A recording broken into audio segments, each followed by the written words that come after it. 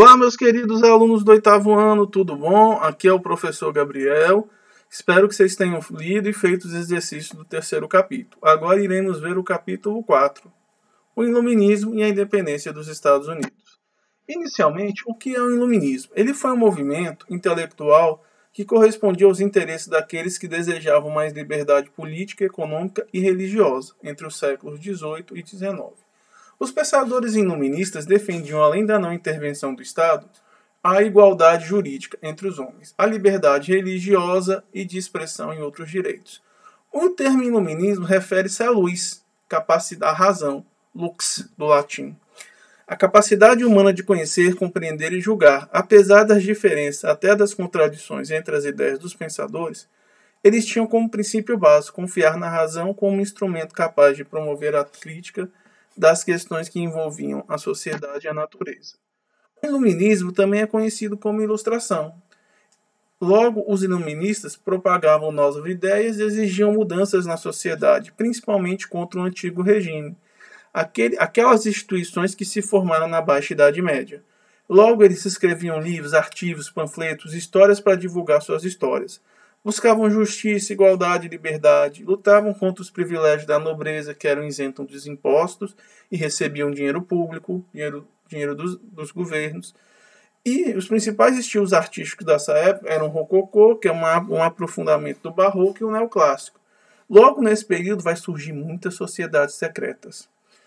Logo eles ressaltavam a importância da educação pública e a necessidade de educar as massas, isso resultou uma grande difusão das ideias liberais. Logo, as principais características do, do, desse movimento, eles criticavam principalmente o absolutismo monárquico, que protegia a nobreza e mantinha seus privilégios, impedindo o predomínio da burguesia dos seus ideais, o mercantilismo, que era baseado na intervenção do Estado na economia, que era considerado prejudicial à livre iniciativa econômica e ao desenvolvimento do capitalismo.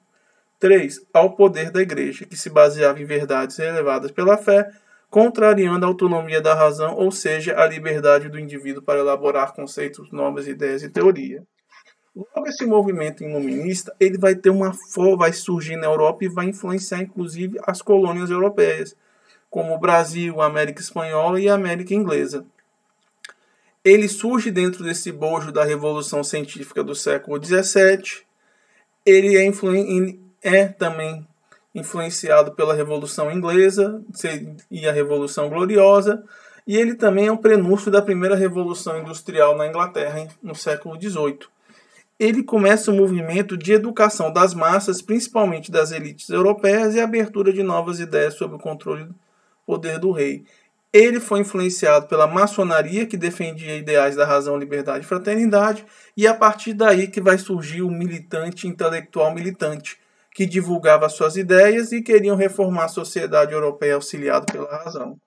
Logo, esse período é conhecido pela Era das Letras ou Ideário Iluminista. Nós vimos que no século XV, Gutenberg vai inventar a imprensa. O que é a imprensa? É uma máquina que fazia cópias de livro, uma espécie do avô da Xerox. Antes de inventar essa máquina, para você conseguir um livro era muito caro, porque precisava de uma pessoa copiar. Esses eram chamados de monges copistas. Logo, o que vai acontecer, pessoal? Com esse ideal da educação, principalmente da divulgação dos livros, vai ser muito importante para surgir um novo modelo de pessoa. Antigamente você tinha um súdito. O súdito morre na Revolução Francesa e dá origem a um cidadão o cidadão ele tem direitos e deveres. É nesse período que começa a ter a separação do Estado, ou Estado laico, onde a igreja não interfere mais nas questões dos governos. Nós vimos que os reis buscavam apoio do Papa, da Igreja Católica, para governar na Europa.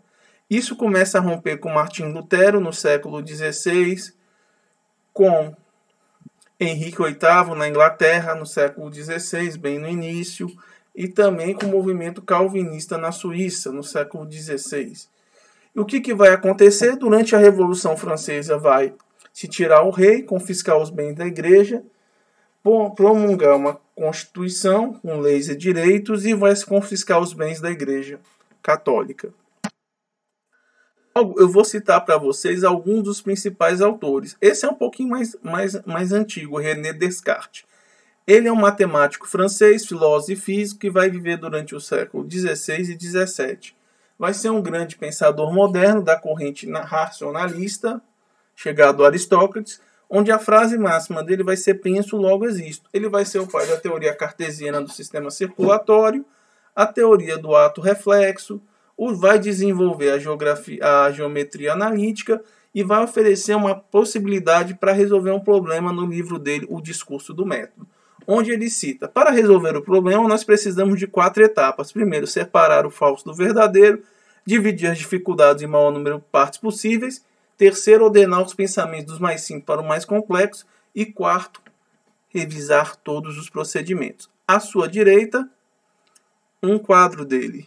Ele também foi militar. Ele também foi militar, não se esqueça.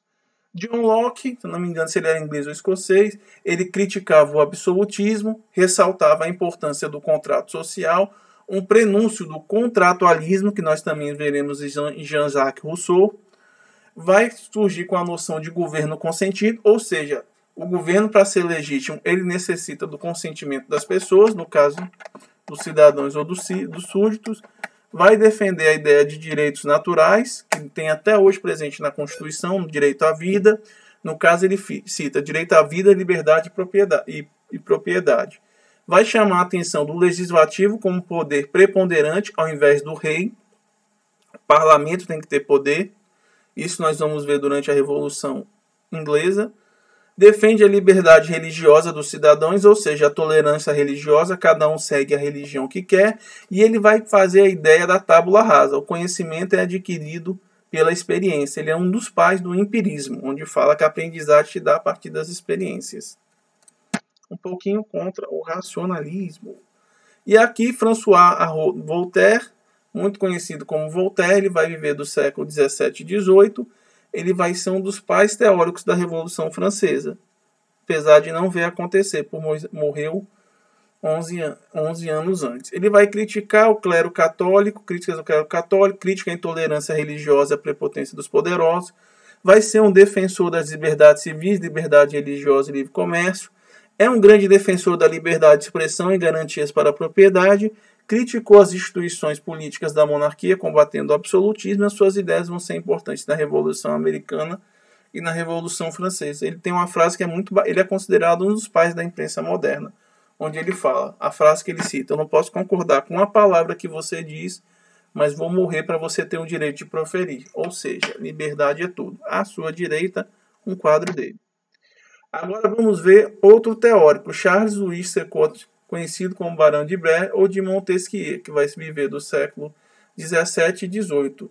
Ele vai ser muito importante que ele vai escrever uns livros, mas o livro mais, mais famoso é o Espírito das Leis. Ele vai escrever, ele era um político, filósofo, escritor francês, ele vai defender a tripartição do Estado, ou seja, a separação dos poderes. Enquanto no absolutismo o rei mandava tudo, para ele, para Voltaire, para Montesquieu, deveria se dividir em três poderes: judiciário, cuidava das leis, executivo, cuidava da administração, e legislativo, que elaborava as leis. Para o Montesquieu, o modelo ideal de governo é a monarquia parlamentar. Ele era um homem que acreditava na presença de Deus na natureza e no homem, e vai fazer fortes críticas à Igreja Católica e à servidão feudal, ou seja, o regime feudal, o antigo regime. Ele vai dizer que a história se divide em quatro grandes épocas: Impéricles na Grécia, até Otávio Augusto em Roma, os Médici na, na Itália e Luís XIV na França. As principais obras dele, Cartas Persas, Considerações da Grandeza dos Romanos e Sua Decadência, de 1734, e a mais famosa e até hoje mais citada no direito, O Espírito das Leis, ou Lei Espírito das Leis, de 1748. Observe à direita um retrato dele. E nesse período, no sentido de guardar todo o conhecimento humano, dois, dois autores vão, dois jornalistas vão tentar juntar o francês Denis Diderot, do século XVIII, que foi um escritor, jornalista e editor, junto com o francês Jean Leroux de D'Alembert, D'Alembert, que é filósofo, e matemático. Eles vão juntar todo o conhecimento humano numa obra que eles vão chamar de enciclopédia, ou dicionário da razão das ciências, artes e métodos, para uma sociedade de letras. Observe, está bem à direita a cópia. E vai dar um, um volume de 35 volumes, com todo, condensando o conhecimento humano e sendo uma forma de difundir o conhecimento humano. Quando eu era criança, toda vez que a gente queria saber alguma coisa, a gente ia na enciclopédia. Hoje não. Como os tempos mudaram, toda vez que a gente quer saber uma informação, a gente ia no Google. Ele é a espécie um avô do Google, a enciclopédia. Aqui duas fotos dele, Jean Rodolphe de Allenberg e Denis de Retour. O, o outro importante vai ser o filósofo suíço. Ele é, ele é muito chamado como francês, mas ele é suíço. O Jean-Jacques Rousseau, que ele é do século XVIII. Também vai ser um grande tel, mas não vai ver a Revolução Francesa acontecendo. Importante filósofo, teórico político, escritor e compositor e autodidata. Ele vai defender a liberdade de expressão, um governo popular e condições jurídicas iguais a todos, ou seja, igualdade jurídica. Ele vai ser um dos pais que vai dizer: o homem nasce bom, a sociedade que corrompe, ou seja, somos, somos puros, mas somos corrompidos pela sociedade e ele é um dos principais filósofos do iluminismo e pai do romantismo, muito em voga, principalmente no século XIX. Ele vai criar a teoria da natureza humana e vai citar o conceito de vontade geral do povo, que ele fala. Eu chamo de BBB, por quê? Quando o público decide, não tem jeito, é eliminado. Para ele, o governo deveria atender à vontade geral do povo. Ele vai citar a importância da educação pública no livro dele Emílio ou Educação e vai fazer críticas sobre a propriedade privada. Ele vai ter um discurso sobre o homem e a, um discurso sobre a origem do homem e a desigualdade e o surgimento da propriedade privada. Um dos livros dele mais famosos. Eles têm vários, mas esse é muito interessante. Então ele até hoje ele é muito importante, não só na política, mas também na educação, na filosofia, entre outros. À direita, um quadro dele. Observem. Outro famoso vai ser o filósofo escocês Davi Humes, muito amigo do Adam Smith, ele é do século XVIII. Foi um filósofo, historiador, ensaísta, ele é conhecido como um forte, um forte da corrente empirista radical ceticismo filosófico, não acredita. Também outros, ênfase no sentido sensualista, vai introduzir o raciocínio experimental nas ciências e vai fazer um tratado sobre a natureza humana. Um dos seus livros mais famosos vai ser Ensaios Filosóficos sobre o Entendimento Humano, na Inglaterra. E isso vai chegar em campos como o da economia. Dentro da economia, a gente vai ter o surgimento de uma corrente econômica chamada fisiocrata. Quem vai, um dos grandes pensadores vai ser François Quesnay, um francês do século 17, 17 e 18, onde ele fala que, diferente do mercantilismo, que era corrente em voga, para Quesnay, o Kesnay, o Estado não deveria interferir na economia. Para ele era deixe fazer, deixe façar. Ou, traduzindo em miúdos, laissez-faire, que vai ser atribuída a Adam Smith. Ele vai defender o governo da fisiocracia. Físio, natureza, cracia, governo. O governo da natureza. Para os fisiocratas, a riqueza não estava no comércio. A riqueza, a riqueza estava na agricultura como fonte geradora de recursos. Observe à direita um quadrinho dele desenho. Logo, posteriormente vai se desenvolver uma nova corrente econômica, que se chama liberalismo econômico ou liberalismo econômico. Logo, é uma ideologia baseada na organização da economia em linhas individualistas, rejeitando a intervenção do Estado. Defende o livre mercado e a concorrência entre os agentes econômicos. As teses vão ser criadas no século XVI com a clara intenção de combater o mercantilismo, cujas práticas atendiam às novas necessidades do capitalismo. O capitalismo ele surge mais ou menos nesse bojo do século XVI, no final do século XX, que é um sistema econômico que se difere do modo de produção feudal e ele é baseado na compra e na venda, principalmente em recursos financeiros, na venda do trabalho e na compra de mercadorias. Quem vai fazer um grande estudo disso, que nós veremos a posteriori, vai ser um filósofo alemão chamado Karl Marx ou Carlos Marx. Interessante também é outros tipos de obras que surgiram nessa época, algumas obras pornográficas. Eu vou citar para vocês um muito bacana. Tem até o filme, quem quiser assistir depois, O Marquês de Sade, que é Dona Natália Adolphe François de Sade, que vai ser do século XVIII. Logo, Marquês de Sade, ele vai ser um aristocrata francês e escritor libertino. A boca dele, meu Deus, deveria ser costurada. Ele fazia cada poema maledicente, lembra muito Gregório de Matos aqui no Brasil, que é conhecido como Boca do Inferno. Muitas de suas obras foram escritas enquanto estava na prisão da Bastilha encarcerado diversas vezes. inclusive pelo próprio Napoleão Bonaparte. Escrevia histórias pornográficas, orgias, libertinagem, pedofilia e dissimulação política. O livro mais famoso dele, que vai virar obra depois, na mão do cineasta italiano Pasolini, é 120 Dias de, de Sodoma. Aqui à, à direita, um quadro. Eu gosto mais é o filósofo escocês Adam Smith. Adam Smith era comerciante, trabalhou numa, numa alfândega. Logo, ele, ao analisar, e teve amizade muito forte com David Nunes, ele buscou analisar o comércio. Então, ele anotou todas as perspectivas, vai escrever dois livros famosos. Uma investigação sobre a causa e natureza das riquezas das nações, que a gente conhece como riqueza das nações, e a teoria dos sentimentos morais, também é muito importante. Para ele, ele começou a observar que principal, a principal fonte de riqueza era o trabalho. A partir do trabalho com o comércio é que você gerava riqueza diferente que pensavam os fisiocratas. E ele falava da existência de uma mão invisível no mercado. Que mão invisível é essa, professor? Uma espécie de regulação que tinha da oferta versus a procura.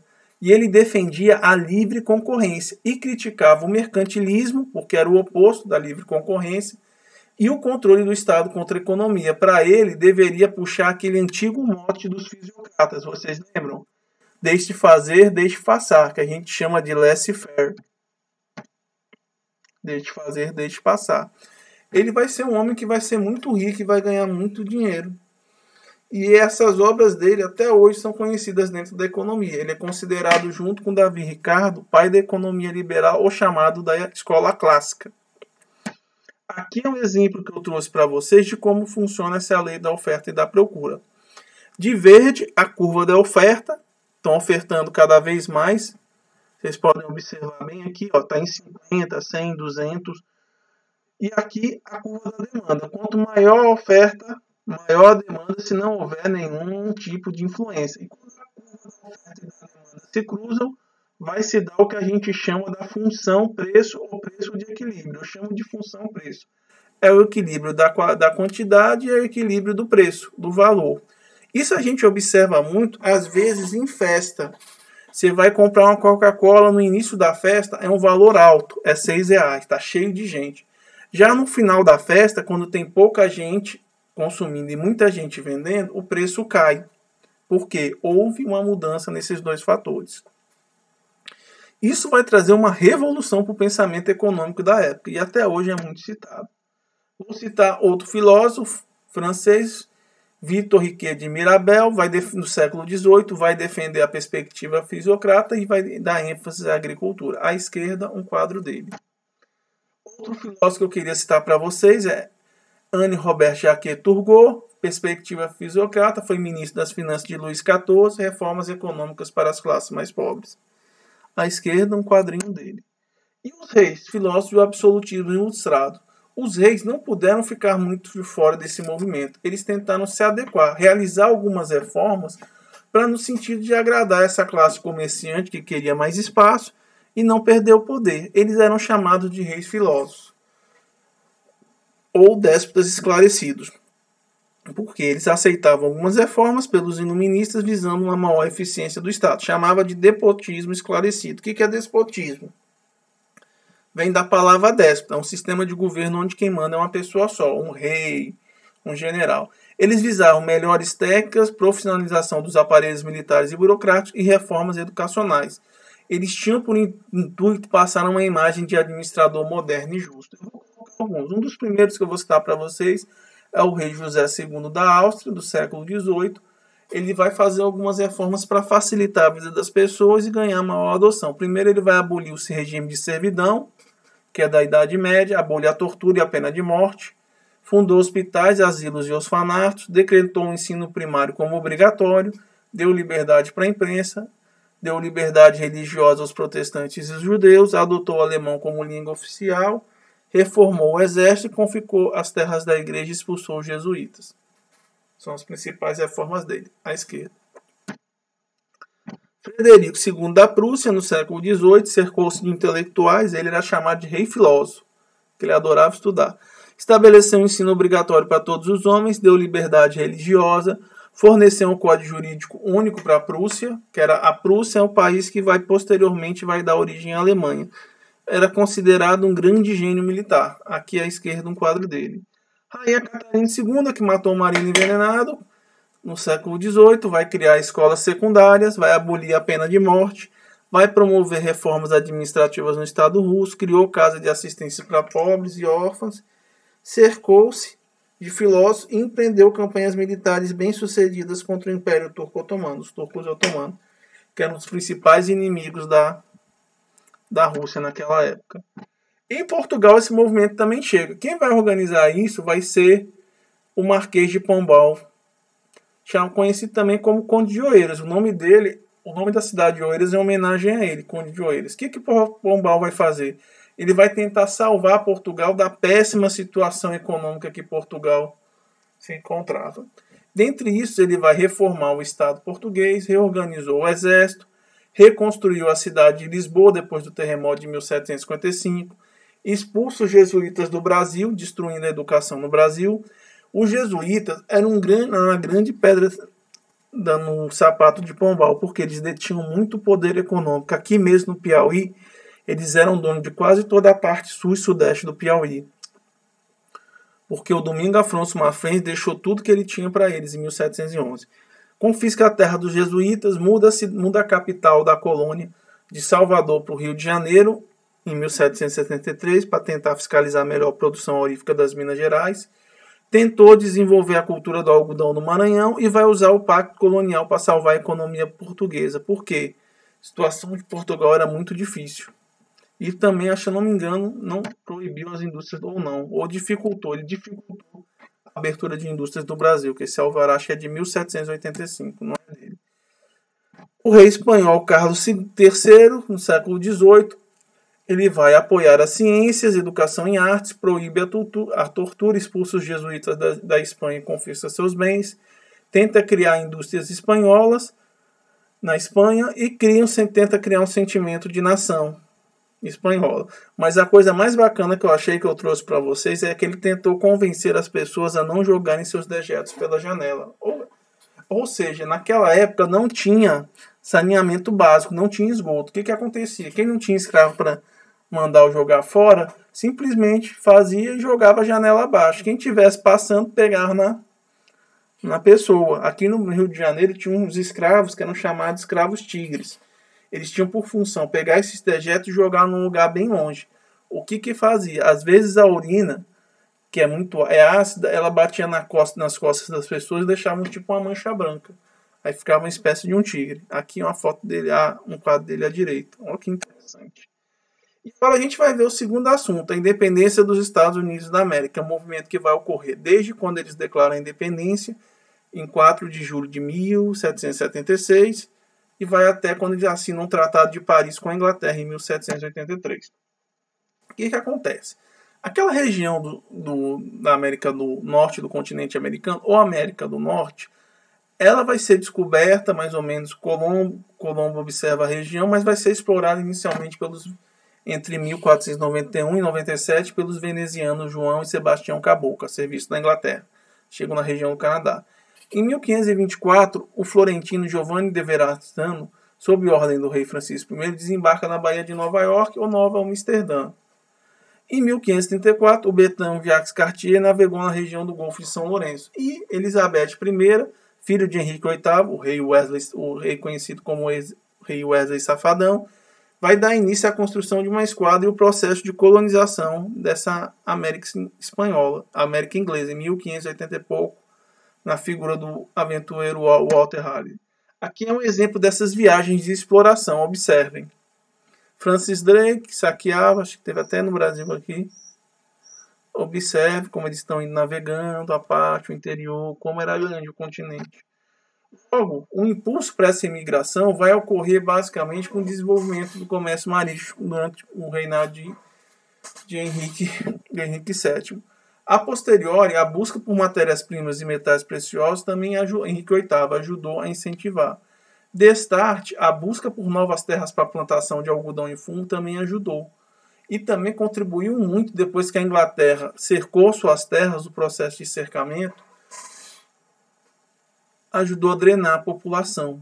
Logo, a Inglaterra começou a expandir aos poucos seu território, mandando principalmente condenados, exilados, políticos, fugitivos religiosos para as colônias e drenar essa população de rua que não servia para nada e cometia crimes, gerando uma mão de obra barata para a América. Contribuiu também a reforma religiosa anglicana, que quem não concordasse com essa nova religião podia ir embora, e ele tornou a América um lugar de muita tolerância religiosa diferente na Europa. Então vamos ver, a colonização se inicia quando William Francis Drake chega à Califórnia e proclama aquela região como colônia da coroa, chamando de Nova Abion ou Nova Inglaterra, mas não promove a sua ocupação. Em 1583, Rupert Gilbert chega à Terra Nova e declara ela colônia inglesa. Entre 1584 e 87, três expedições vão ser organizadas por Walter Hyde para colonizar a América do Norte. Todas falham os colonos desaparecem na ilha Rocac, na Carolina do Norte, em, chamada de colônia desaparecida. O estado é muito interessante. Aí acredita que eles sumiram, houve algum tipo de canibalismo, os índios pegaram ele. Ninguém sabe como isso terminou. Em 1607, o estabelecimento da primeira colônia nas Américas, em Jamestown, a cidade chamada de Virgínia, em homenagem à rainha Elizabeth, a rainha virgem. Entre os séculos 17 e 18, os ingleses vão fundar 13 colônias na América do Norte, entre 1607 e 73. E vai começar a atrair pessoas, oferecer uma série de oportunidades, como perdão de penas para os criminosos, liberdade religiosa e oportunidade de ter sua terra, coisa que eles não teriam na Europa. Logo, as colônias inglesas elas eram, eram 13 e foram divididas em três tipos de modalidade. O primeiro tipo são colônias reais, eram oito colônias que eram colônias reais da Geórgia, Massachusetts, Massachusetts, Nova York, Nova Jersey, Carolina do Sul, do Norte e Virgínia. Eram colônias diretas sob o comando do rei, administrado por um funcionário do rei ou governador do rei. As colônias de proprietário, que eram três colônias de Delaware, Maryland e Pensilvânia, eram uma espécie de feudo e sendo dirigida por um nobre alguém que recebeu a concessão das terras. E por fim, as colônias de carta, duas, de Connecticut e Rhode Island, estabelecida por colônios que recebiam a carta ou concessão de direitos e deveres do rei, uma espécie de floral que era conhecido nas nossas capitanias. Aqui para vocês um mapa dessas 13 colônias, observe as fronteiras, tudo posterior a essas fronteiras eram as reservas reais do rei. Aí você vê Massachusetts, New Hampton, Rhode Island, Connecticut, Nova York, Pensilvânia, Maryland, Delaware, Nova Jersey, Virgínia, Carolina do Norte, Carolina do Sul e Georgia o lado do Oceano Atlântico. E aqui as três colônias para vocês, observem. Então aqui, eu não vou ler novamente, vai me cansar. vai me cansar, mas está aí. Colônias do Norte, a Nova Inglaterra, as colônias centrais ficavam no centro e as colônias do Sul.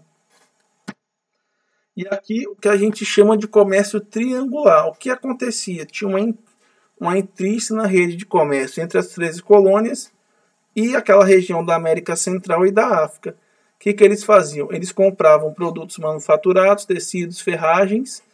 Em troca, eles vendiam peixes, cereais e madeiras para Portugal. Vendiam também rum, que é uma espécie de destilado feito a partir da, do oriundo do, do, da cana-de-açúcar. Eles compravam melaço nas Antilhas e vendiam rum, que é uma bebida. Vendiam madeira de gado, vendiam alimentos, madeira e vendiam também outras coisas então, tudo isso era uma intrínseca rede de comércio, cada um ajudava o outro e eles tinham um certo desenvolvimento econômico. E o funcionamento da imigração para as três colônias era baseado no sistema de parceria, ou indentory served, um sistema de financiamento das passagens, em troca de passagem, pagamento de trabalho de dois a cinco anos ou sétimo, eles recebiam um lote para viver e plantar. Geralmente eles tiveram muitos conflitos com, com os nativos, as tribos foram sendo expulsas pouco a pouco, que eles foram tomando de conta, tomaram de conta do território. Lá nas colônias eles tinham uma coisa muito bacana que eles não tinham na Europa, autonomia política e um sistema de representação, uma espécie de pequeno parlamento. Só que a coroa inglesa tentou limitar um pouco a produção de armas, proibindo a instalação de laminações, fundições, forjas ou fabricação do aço em 1750. É a mesma coisa que fazia Portugal. Logo, os colônios tinham monopólio de produtos como tabaco, açúcar e alcatrão, ou seja, eles tinham monopólio para poder vender para a Inglaterra. Aqui é um exemplo desse contato entre um, um, colonizador e os indígenas. Aqui no Brasil nós temos Caramuru, que é um, é um português que foi morar com a Índia, Paraguaçu. Tem até o filme, quem quiser ver. Pocahontas, quem já viu o filme no cinema, eu vi quando era criança. Tradução, criança mimada, remete ao século XVI e XVII. Foi ameríndia, filha de um chefe, Pocá, que governava uma área que abrangia quase a todas as tribos do litoral da Virgínia, que entrou em conflito com os ingleses e foi dizimada. Pocahontas casou-se com o inglês John Rolfe, tornando uma celebridade no fim da sua vida. Ela e o soldado John Smith, mas ela vai casar com John Rolfe no final. No desenho ela fica com esse soldado, ela salva ela. Observe. E o que cada colônia fazia. Eu resolvi colocar mais ou menos as atividades de colônia. Primeira colônia do norte e do centro, a outra América, que eram as colônias de povoamento eles fizeram diversificar na produção, tinham um comércio ativo e a presença de manufaturas.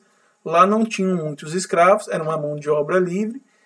Existia uma política de liberdade religiosa, tinha uma construção de navios e armadores e tinha uma policultura. Tinham batata, milho, feijão, cereal e criavam bois, a pecuária. E também tinha uma forte influência da religião puritana que tinha os calvinistas. Formaram uma cultura mais complexa, cosmopolita e tolerante, e eles foram muito importantes no desenvolvimento nos estudos. Enquanto no Brasil a nossa primeira faculdade remete ao século XIX, nossa, nossa, que a Faculdade de Medicina da Bahia, em Salvador, e a nossa primeira universidade remete ao século XX, se eu não me engano, eles fundaram universidades como Harvard, em 1636, e Yale, Princeton, em 1746, King's College, em 1754 e da Filadélfia, em 1755, trazendo para si um desenvolvimento técnico e científico. Aqui é uma foto da Universidade de Harvard, em Cambridge, Massachusetts. É considerada, ou já foi a melhor, uma das melhores universidades do mundo. Você vê muito em filme, Harvard. Harvard. Aqui a Universidade de Yale também é muito famosa e a Universidade de Princeton. As colônias do sul, elas diferiram um pouco das colônias do norte, porque elas se baseavam no sistema de plantation. Ele era um tipo de uma produção para exportação do algodão, do tabaco, do anil, do arroz. Eles utilizaram escravo, mão de obra escrava oriunda da África, tinham grandes propriedades de terra, não eram, tinham a presença da igreja anglicana, tinham menos tolerância religiosa, tinha uma, uma, maior fiscalização da coroa inglesa e menos autonomia. Os fazendeiros é que comandavam a região a partir das suas milícias, administravam juízes de paz que votavam as leis e eles eram muito instruídos. E aqui a questão das colônias. Elas vão se desenvolver com uma certa autonomia em virtude das questões políticas europeias e a falta de um projeto inicial para a colonização inglesa. As, as colônias do norte tinham uma liberdade política, religiosa e econômica maior, trouxeram muitos imigrantes para a região e houve um grande crescimento econômico e aumento da população. A América Inglesa se tornou uma sociedade desenvolvida em relação aos vizinhos espanhóis e portugueses. E possuíam um pequeno parque fabril, umas pequenas fábricas.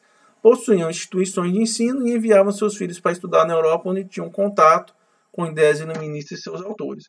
O que, que vai acontecer? Uma nova política colonial.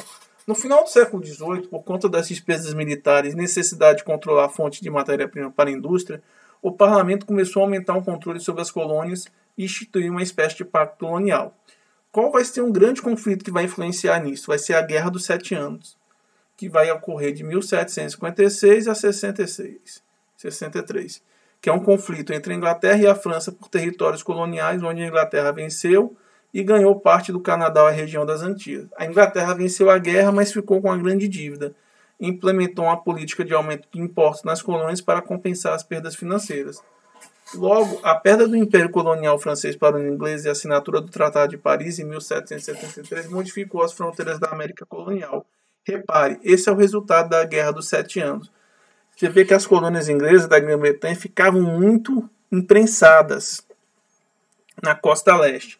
Como eles ganharam essa guerra, eles pegaram parte desses territórios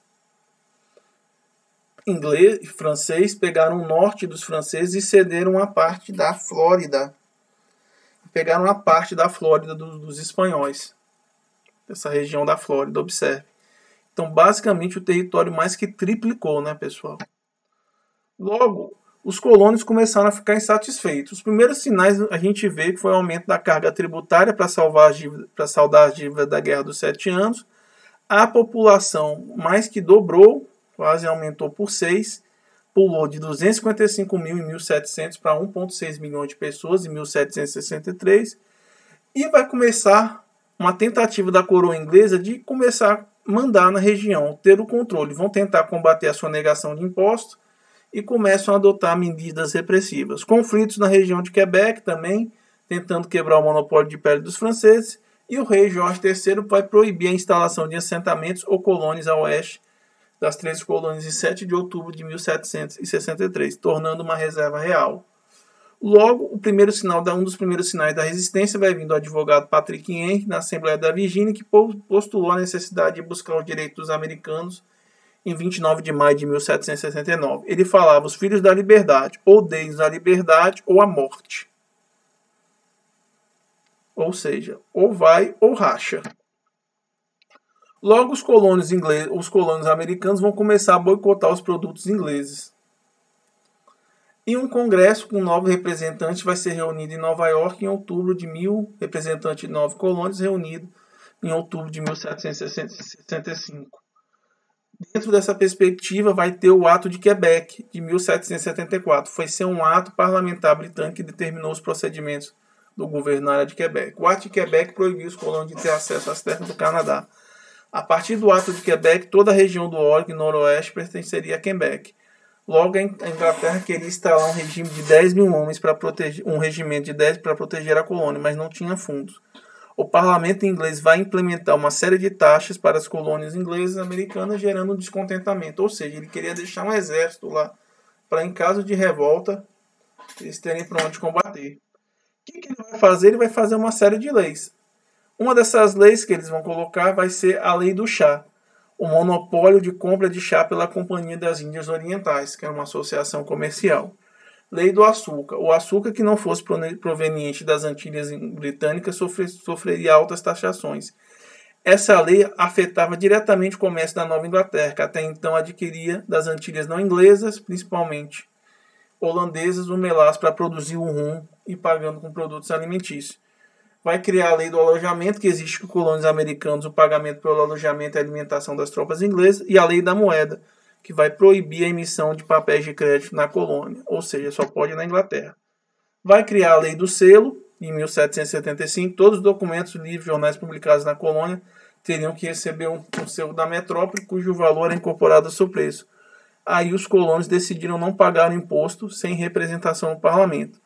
Depois a 6, que é interdição comercial, a renovação de comercializar com outros produtos do país, além da Inglaterra, as leis intoleráveis, que é a lei promulgada por parlamento em 1774, e represália a revolta da festa do chá, com o objetivo de conter a insubordinação. E começaram a criar uma série de taxas. Taxas sobre papel, sobre o vidro, sobre chumbos, corante, etc. E eles falaram, os colonos falaram, a gente paga, mas a gente quer ser representado que, que isso, esse episódio do chá vai gerar, vai gerar, entre outros? Principalmente o massacre de Boston. O que, que vai ocorrer, pessoal? O massacre de Boston ele é um incidente que ocorrido em 5 de março de 1770 em Boston, Massachusetts, na colônia, quando soldados britânicos dispararam sobre um grupo de civis, matando cinco e ferindo seis. As tropas britânicas que estavam estacionadas em Boston, capital da província, desde 1768 com o objetivo de proteger e apoiar os oficiais apoiados pela coroa. E estavam tentando cumprir a legislação. Dispararam contra a multidão sem ordem de prédio, matando essas pessoas e ferindo outras. Aqui à esquerda, um desenho de como foi, isso vai gerar uma forte repercussão. Outra questão vai ser a festa do chá de Boston. É a designação dada a uma ação que o protesto é executada pelos colonos. O que, que vai acontecer, pessoal? Eles vão se vestir de índio e vão de indígena e vão invadir os navios e jogar toda a carga ao mar. No caso, o incidente teve lugar em 16 de dezembro de, 70, de 76 e vão jogar todo o chá da Companhia das Índias. O governo vai fechar o posto de Boston e vai implantar um governo militar. À esquerda, uma charge. Destruição do chá no porto de Boston. E pouco a pouco a Inglaterra começa a aumentar o cerco sobre os colonos. e colocam novas leis para repetir. Aumenta a represária em 1774 se reúnem, fazem o primeiro congresso continental na Filadélfia, onde eles sustentam não taxação sem representação. Eles queriam enviar representantes para o parlamento inglês. Eles vão fundar uma associação continental para o boicote da Inglaterra em 20 de outubro de 1774. Tentam costurar uma solução, enviam um representante, Benjamin Franklin, e o primeiro-ministro William Pitt, formando uma federação de colônias rejeitado pelo parlamento. Em 1775, fracassada todas as negociações, na Inglaterra vai se iniciar os primeiros conflitos armados. Thomas Paine é um representante da época, ele vai ser um político britânico, além de panfletário, revolucionário, considerado um dos pais fundadores da América. Suas principais obras são o Senso Comum, que ele advoga a independência colonial americana, o reino da Inglaterra e a crise americana, uma série de panfletos revolucionários. À direita, observe um quadro, um quadro dele. E o movimento da independência.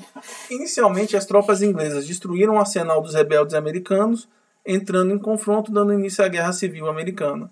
O segundo Congresso Continental, em maio de 1775, os colônios decidiram pelo rompimento na Inglaterra e buscaram aliados externos para o conflito. É aquela história, o amigo, o inimigo do meu inimigo é meu amigo. Os dois amigos que eles vão juntar aos Estados Unidos é a França, que ainda estava chateada com a perda da Guerra dos Sete Anos, junto com a Espanha, que também estava muito chateada.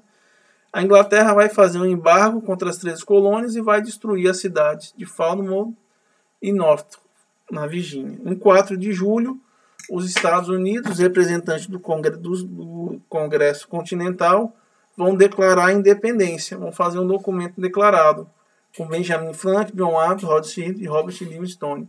E vão escolher como líder um proprietário de terra chamado George Washington, que liderava as tropas e teve um apoio fundamental da dos franceses na figura do rei Luís XVI e uma ajuda espanhola. George Washington é o primeiro presidente dos Estados Unidos e o comandante e ex-chefe do Exército Continental, que durante a Guerra da Independência lutou. Ele é considerado um dos pais dos fundadores dos Estados Unidos e vai presidir a convenção que elaborou a Constituição, no qual veio substituir os artigos da Confederação e estabelecer a posição de presidente. Ele vai ser eleito presidente pelos eleitores em 1788 e vai prestar serviço durante duas legislaturas. Aqui ele era um rico fazendeiro à direita, ou conhecido como General Washington também. O movimento da independência dos Estados Unidos vai ter a ajuda da França, que vai enviar um militar experiente, o Marquês Lafayette, 7.500 homens, Luís XVI vai, do, vai doar 12 milhões de libras e vai emprestar mais 6. A França envia esquadras para fornecer auxílios aos, aos colonos. A Espanha envia esquadras contra a Inglaterra em 1779 e a Inglaterra vai declarar guerra à Holanda por vender pólvora aos colonos americanos. França e Espanha se vingam da derrota anterior da Guerra dos Sete Anos, sofrida para a Inglaterra, Logo, a guerra vai se generalizar. Em, 19 de outubro de 1781, o general Charles Scott sofre uma grande derrota, se rendendo e praticamente acabando com a resistência inglesa. Em 1783, a Inglaterra e Estados Unidos assinam um Tratado de Paris, pondo fim à guerra. A França vai ganhar o Senegal e parte das Antilhas da Inglaterra, que é em Ilhas de Tobago, Santa Lúcia. A Espanha vai ganhar a Flórida e o governo federal vai instituir o governo federal, que no início ele é fraco, que ele vai tentar reger essa grande confederação, que é essas três colônias de um só país. Como eu disse para vocês, a Batalha de Yorktown foi fundamental nisso, que nessa batalha os rebeldes foram apoiados e a Inglaterra marcou o fim da resistência britânica e essa independência. Aqui é um quadro da época, o general passando em revista, Estados Unidos, bem ali a bandeira, primeira bandeira deles, e eles se rendendo. Aqui é muito interessante, é um quadro de Betty Ross e as duas crianças apresentando a bandeira, a primeira bandeira dos Estados Unidos e o George Washington observando. Cada estrela representava uma colônia das 13.